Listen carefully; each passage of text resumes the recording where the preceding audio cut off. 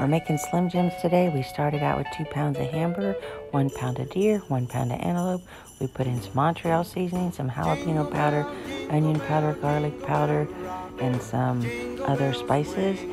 And 12 hours later, it turned into this, and it was amazing. Give me a heart if you like this. Merry Christmas. Yum.